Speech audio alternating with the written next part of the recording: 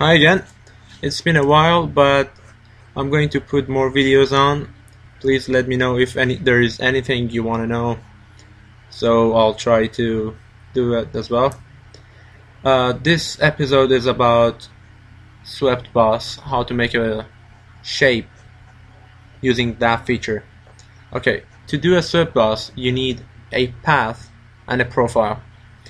To do that, first I'm going to sketch my path and for example this line is going to be it.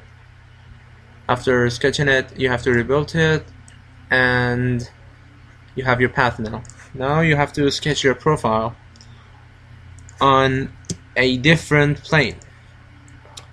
For example the right plane and I'm gonna sketch a circle and rebuild it and use it as my profile. Okay now I'm going to use this option in feature tab and choose my profile and then my path and there you have your part. Okay, that was the easiest way of using this feature. I'm gonna make it a little more difficult this time. Um, the first one I just made, uh, the path was started uh, at the origin point, but this time I'm gonna draw my line like this. So the origin point would end up in the middle of my path. In this way you don't have any default planes starting or ending at any either side of the either side of your path. So all you need is a new plane located at either side because otherwise if you sketch your for example profile on this plane it will look something like this. And if you use the feature swept boss your shape would end up not complete something like this. So in that case you have to have a new plane created by simply clicking on one of these default planes over here and holding the control key on your keyboard down and click on your plane and you should be able to see the options over here which my SolidWorks crashed and Maybe it's because you're using a fake. hmm? Maybe because you're using a fake one. it's yeah it's not fake it's still recording yeah yeah sorry for that. Technical difficulties. You should be able to see these options over here and by choosing the parallel and clicking on the preferred side of your path you have your plane created and now you can have your sketch on it.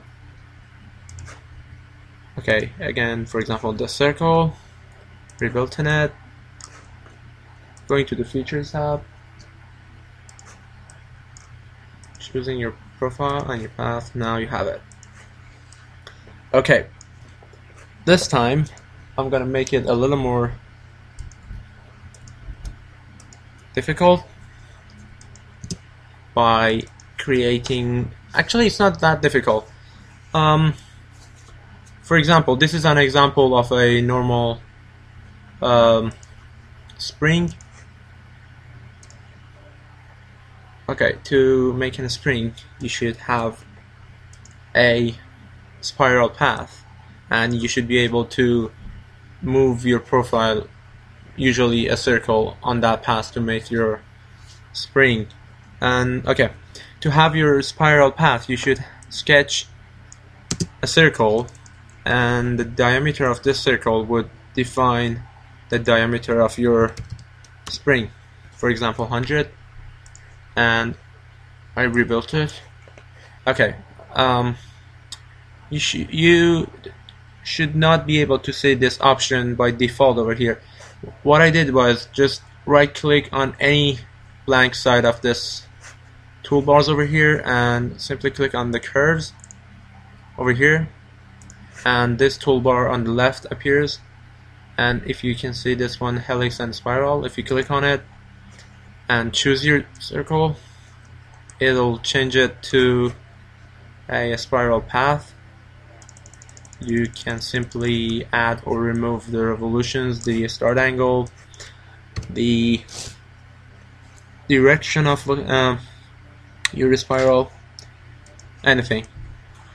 I suggest you to change the start angle to zero because it'll make your job a little easier by having a plane, at least one plane, perpendicular to this end of your spiral path.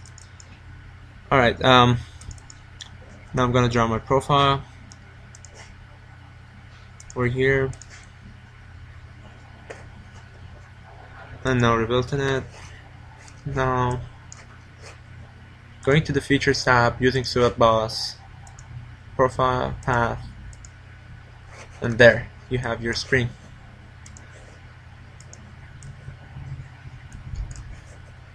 Um, okay.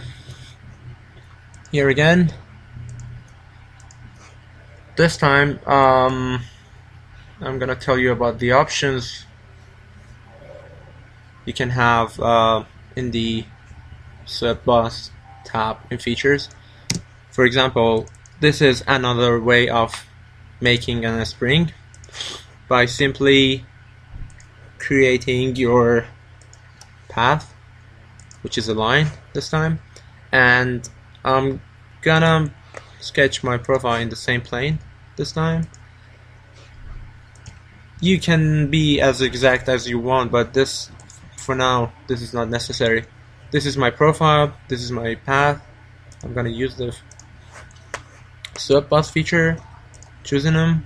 Okay now by going to options, changing the orientation to twist along the path and the definition to turns, I should be able to make this a spring. There are other options in that tab. You can just um, let me know if there is anything you want to know. I'll try to make a video out of that and put it on YouTube. Thank you very much for watching.